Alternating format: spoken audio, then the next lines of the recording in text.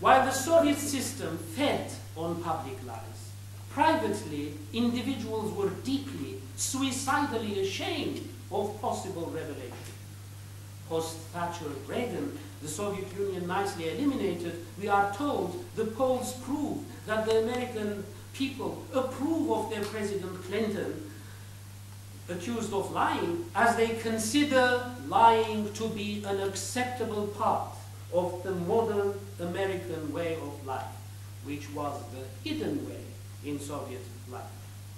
President Clinton went one further. He made pornography respectable, which would be anathema to Swedenborg's very concept of ideal society, based in Swedenborg on monogam monogamous conjugal love.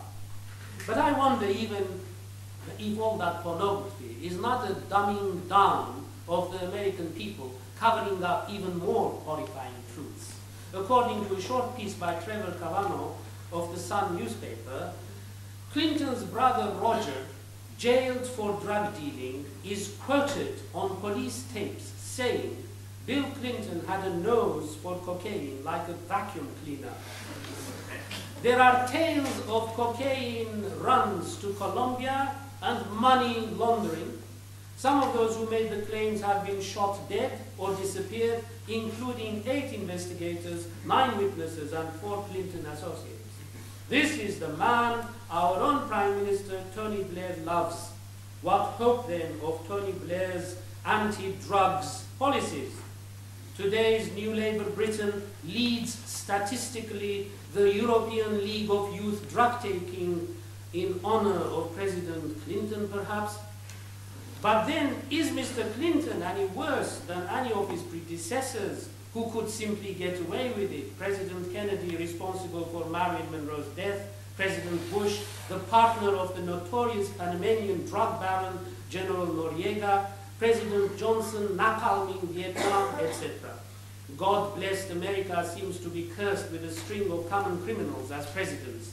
And yet, I felt very sad and sorry when Mr. Clinton was shown on television as a bumbling old man trying to preserve some dignity, whatever of it was left.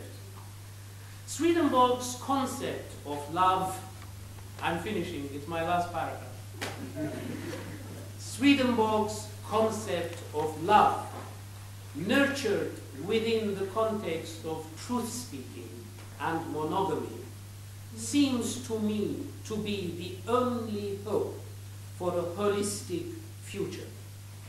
Love alone, as the very life of God flowing into men and women, is the divine elixir, the superglue that can cement all aspects of the fragmented and alienated modern individual together.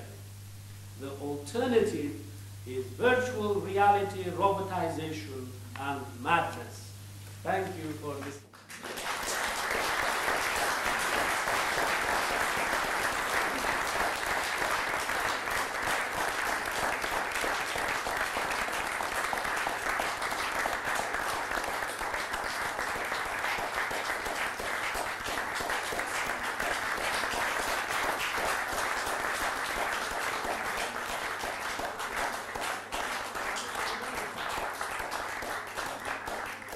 We say in Armenian, um, yeah, you see, the housewives who iron their clothes, we say in Armenian, I ironed your heads. So I'm sorry if you're, if I don't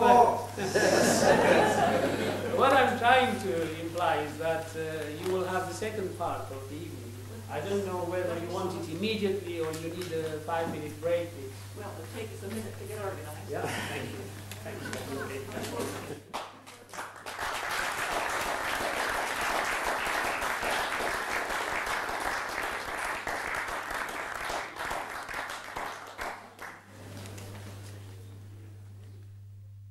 More festive part, you might say.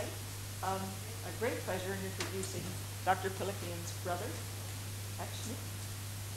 Um, he was described by one writer as being the sovereign voice from the land of Armenia. And another writer wrote, to hear Pilikian once is to feel the exaltation of a soul reaching out for the ultimate in harmony and beauty. And it? He's a youthful prize-winning pianist of note in Europe, especially in his native land. Couldn't hear? I can't hear you. You can Anyway, Kachnik, Our singer.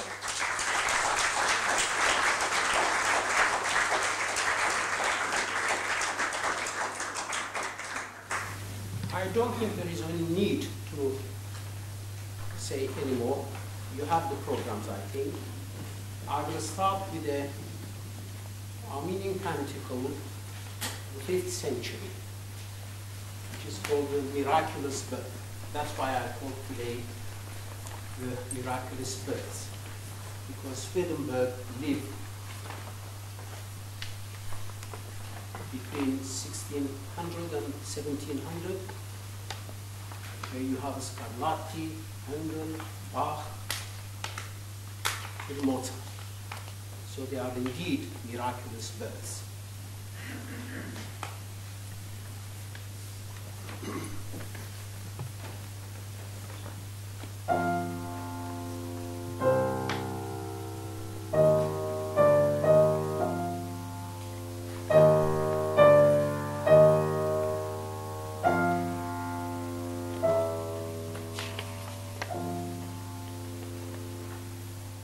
Zakumen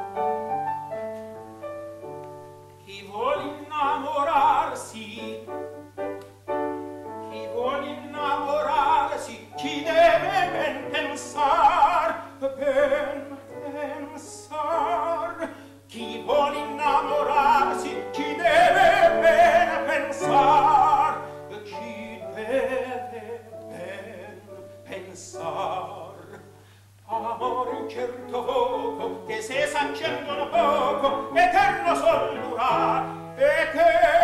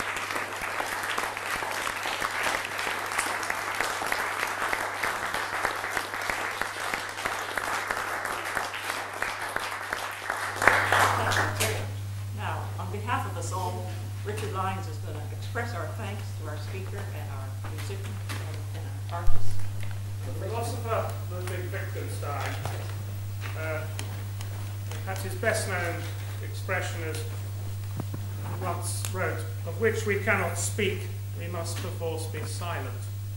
Um, a rather gnomic sort of thing to say. It's sometimes thought that it meant that he dismissed anything that was metaphysical. I don't think it meant that at all, but I feel like that today in the presence of this wonderful talk. Uh, looking, and I've been looking at those staring, lovely green eyes of the, the, the picture of Emanuel Swedenborg throughout the, evening. And then this wonderful end with the beautiful singing um, from this wonderful piece of uh, early Armenian music through more familiar 17th, 18th century, but very beautiful music. This society is certainly grounded in the arts because certainly one of its early members and, and presidents indeed was, was a great singer, particularly of Handel. He started life as a choir boy in Westminster Abbey. So I, we can think of our own members, perhaps not those we will remember, but in the early days, this society actually goes back to 1810. Not in this building, of course, but in, uh, there were people singing Handel then and probably Mozart.